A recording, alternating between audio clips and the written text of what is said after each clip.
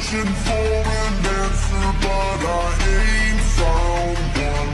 I've been known to tear shit up and go offline.